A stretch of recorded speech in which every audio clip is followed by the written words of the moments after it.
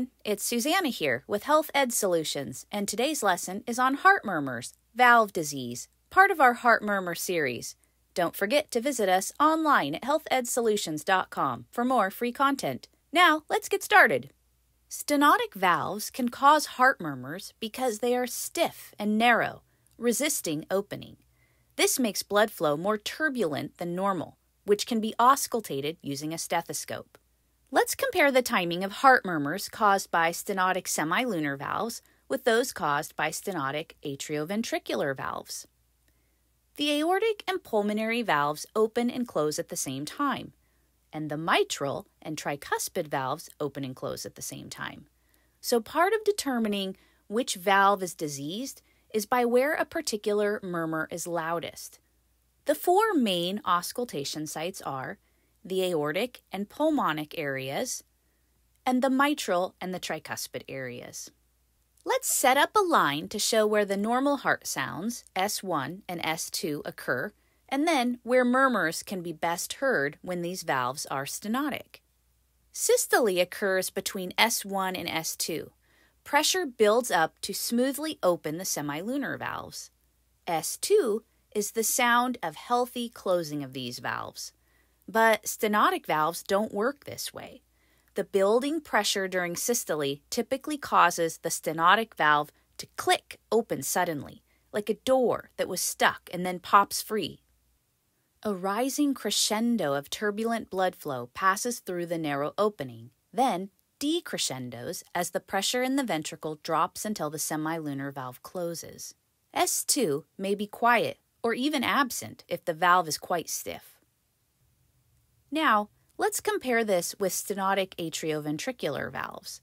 The AV valves open during diastole, then close at the end of it, causing the normal S1 heart sound. After systole, the AV valves should open nicely again. But if one of them is stenotic, like the mitral valve shown here, then the rapidly entering blood presses on it until it may actually snap open the narrowed opening results in noisy flow into the ventricle. So, semilunar valve stiffness causes a systolic murmur. Atrioventricular valve stiffness causes a diastolic murmur. Regurgitating valves also cause murmurs. These valves don't stay closed and they allow leaking. Again, we'll compare the effects of a regurgitating semilunar valve with those of regurgitating atrioventricular valves. And once again, the site that gives the loudest murmur is a clue as to which valve is affected. Semilunar valves are normally closed during diastole, then open during systole. S2 is the sound caused when these valves close. But if one of the semilunar valves leaks, the aortic valve shown here, then a diastolic murmur can be heard as the blood leaks back into the ventricle through the poorly sealed valve. Atrioventricular valves are closed during systole, then open during diastole. S1 is the sound heard when they close.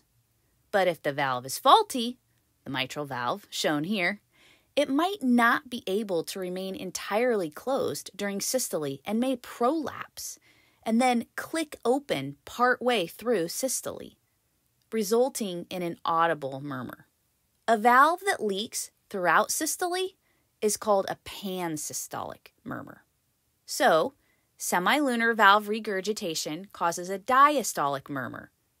Atrioventricular regurgitation will cause a systolic murmur. In summary, semilunar stenotic valves cause systolic murmurs. Blood flows in the right direction, but not easily. Atrioventricular regurgitation also will cause a systolic murmur, since blood is flowing backwards into the atria during systole.